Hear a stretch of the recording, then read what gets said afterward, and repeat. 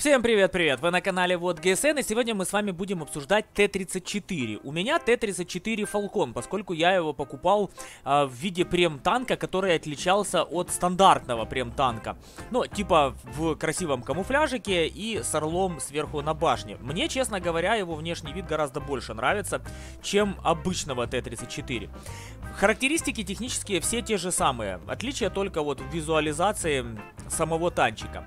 Для тех, кто не знает, для тех, кто недавно играет э, в Блиц, я маленький экскурс в историю закину. Значит, смотрите, раньше можно было, помимо вот тех танчиков, которые вы сейчас видите э, у себя в ветках развития, раньше можно было купить гораздо больше машин в этих всех веточках. Ну, вот в частности Т-34 он стоял в ветке Соединенных Штатов, вот здесь вот на своем заслуженном месте, над веткой, ну, над ветками, над восьмым уровнем. Вот здесь вот в Германии можно было найти Леву, допустим, на продаже. Стоили они тогда, по-моему, что-то 7400 или 7600, врать не буду. Ну, короче говоря, я себе купил тогда именно Фалкона, он тогда появился на продаже, и в виде Фалкона он был дешевле, чем Т-34, вот просто в ветке заходи, бери, не хочу. Итак, ребят, почему редкий гость? Про танчик забыли.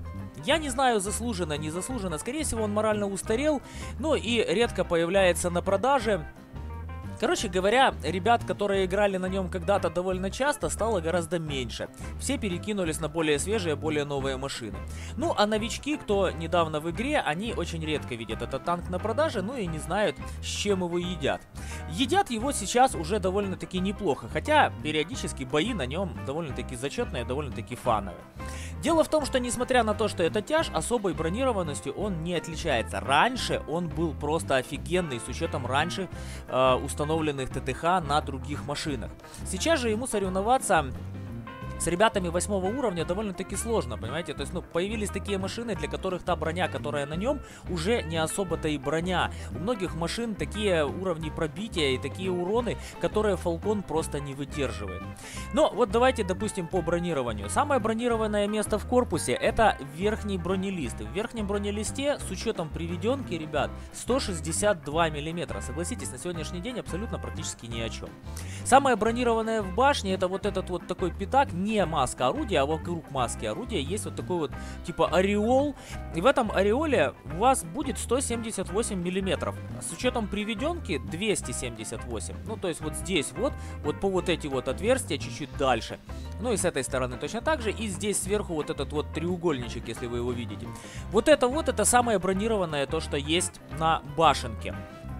Что же касается кепки вот этой, ну, кепка вообще смехотворная, 51 миллиметр брони, а с учетом типа приведенки, если куда-то сюда как-то в край попадет, ну, получается 100 миллиметров. Самое то, что вы толстое сможете найти, смотря на него вот в бортовой проекции, да, вид сбоку. Это вот здесь вот на башне, вот вся вот эта часть, 127 миллиметров. Короче говоря, ребят, танковать особо нечем по большому счету. Ну вот маска орудия, да, действительно очень классная, большая, если в маску прилетает, маску, ну, как правило, не пробивают. Ну, корму даже не буду обсуждать, вот этот пятак бьется вообще просто красота, и ровно какие корма самого корпуса. Короче говоря, вот такой вот он странный тяжек. Теперь давайте посмотрим на его орудие. Что орудие собой представляет? Смотрите, есть пушка 9 уровня, по крайней мере, как она заявлена. Есть довольно неплохая альфа в 400. Для 8 уровня, согласитесь, довольно неплохо. Углы склонения довольно неплохие. Ну и с учетом размера маски орудия, то в принципе от башни можно попробовать поиграть. Что касается среднего бронепробития 248, в принципе для восьмерки тоже неплохо. Но обратите внимание, что для восьмерки, ну вот ДПМ как бы немножечко подкачивает, да, 1920 практически ни о чем. И есть существенный минус у данного орудия, помимо долгого времени перезарядки, сравнительно долгого, потому что сравнивать время перезарядки необходимо не просто с другими танками, а насколько танк проживает нормально и плюс-минус спокойно время перезарядки. Я лично оцениваю всегда так. Это первый его минус, и второй минус это время сведения 5 и 8. Что это такое, мы сейчас посмотрим непосредственно в бою, куда и запрыгнем, потому что дальше в ангаре обсуждать по данной машинке, ну, просто таки нечего. Пока запрыгиваем в бой, хочу попросить всех, кто смотрит видео без подписки, оформите, пожалуйста, подписочку в правом нижнем углу. Буду вам, ну, очень признателен. Поддержите канал, поддержите его развитие. Я же со своей стороны гарантирую вам исключительно честные, объективные, а, ну, возможно, наверное, даже не так, честные и субъективные оценки танчиков, а, как я их чувствую, как они играются в моих руках и как они, скорее всего, играться будут в ваших. Я не делаю из машин имбы, я не снимаю 40-50 50 видео, в которых показываю машину там э, в одном видео вырезающемся, как самую классную, самую матовую, обязательно берите себе этот прем или обязательно качайте себе ту или иную ветку. Поэтому и видео мои, ну, кто-то хвалит, а кто-то наоборот говорит, что неправильно делаю, надо снимать, потом вырезать самый красивый бой и его уже презентовать, потому что видос должен быть красивым. Видос об обзоре танков, видос об обзоре того, что происходит в магазине, он должен быть некрасивым, он должен быть честным по отношению к тем, кто задумывается, а покупать или нет. Итак, вот вам время сведения. Ну, согласитесь, с таким временем сведения не сильно комфортно играть, и хотелось бы, чтобы, ну, безусловно, время сведения было немножечко получше. Что касается динамики машины, нету этой машины динамики. Раньше, раньше, я вот, ну, понимаю, что слишком часто говорю это слово раньше, но мне хочется все-таки а, говорить о машине, какой она была, и о какой, ну, а, она стала сейчас, да. Вот на сегодняшний день машинка стала такой немножечко унылой по геймплею. В свое время рандом в принципе был вот такой вот полуунылый. Танчики не настолько быстро передвигались. Да, были какие-нибудь там быстрые СТшки, ЛТшки, но встречались они не так уж и часто. Тяжи ездили именно так. А, ПТшки передвигались приблизительно тоже так же. Короче говоря, получалось так, что какого-то там бешеного суперскоростного геймплея не было. Никто не носился как сумасшедший по карте. И вот на то время Т-34, он был действительно вот, э, знаете, вот на своем месте. На восьмом уровне он чувствовал себя крайне комфортно. Многие не могли его пробить, а многие не могли соревноваться с ним по его ДПМу. Ну а на сегодняшний день уже есть кому соревноваться, и не только соревноваться, но и побеждать. И Фалкон, как я говорил в свое время про Леву, что это танчик с длинной седой бородой, вот точно так же и Фалкон. Он превратился вот в такого вот, знаете, пускай не старика, но бывалого такого вот тертого калача, который не всегда, безусловно, на сегодня уже вытягивает, но в целом что-то еще может. Насколько это фановый танчик?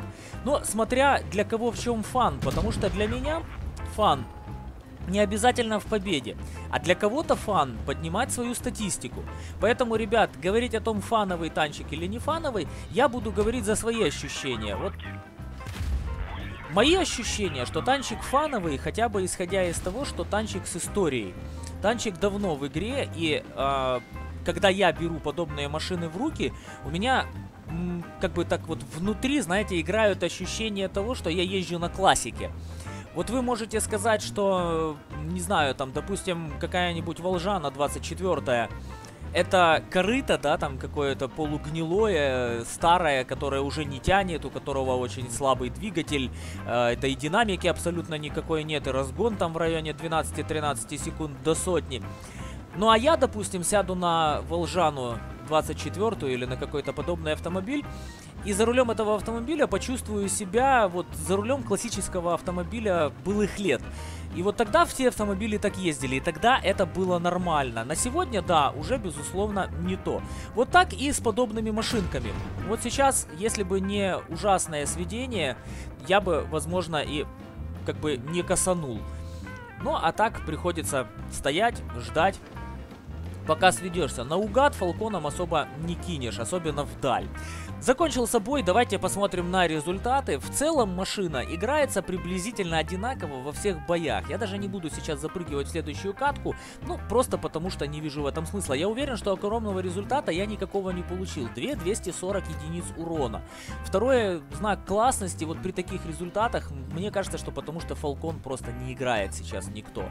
55 а, тысяч серебром. Давайте посмотрим, что это нам а, в виде фарма ну, у нас с учетом вот према было бы 81 700. Согласитесь, в принципе, в принципе, машинка фармящая. Я не говорю, что заоблачный фарм, абсолютно нет. Но фарм есть, и это хорошо. Это не тот автомобиль, на котором вы там не будете вывозить серебрухи прям совсем-совсем. Что касается нашего места в команде, вот, пожалуйста, там, в принципе, не сильно надрываясь, мы заняли второе место с своим 2240. Я вам скажу так, особо больше урона на Фалконе набросать сложно. Возможно, будут какие-то фартовые бои, в которых особенно новичок а, нарвется на каких-то тоже новичков, которые там, не знаю, каким-то чудным образом не смогут справиться с Фалконом, не смогут его окружить, допустим, там заехать в корму и так далее. И возможно, в таких боях вы сможете набросать где-то в районе 3-3,5 урона. Но поверьте, не более. Связано это все с довольно-таки незначительным ДПМом, как для восьмого уровня. Все-таки время перезарядки, ну, оно немножечко дискомфортное.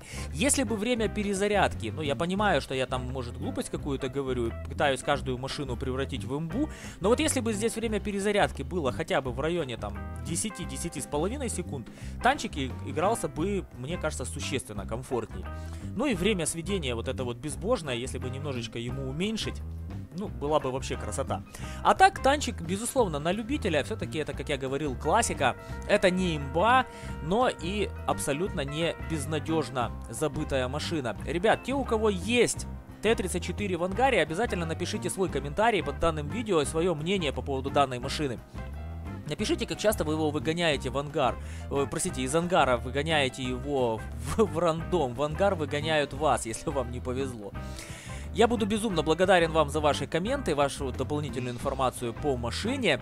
Ну и скажу откровенно, ребят, у кого эта машина есть, выгоняйте ее почаще. Но все-таки стариков тоже надо иногда выгуливать. А на данный момент у меня все. Всех благ, всего хорошего. Возвращайтесь на канал, подписывайтесь по желтому шильдику в правом нижнем углу. Ну и до встречи в новых видосах. Мира вам и спокойствия.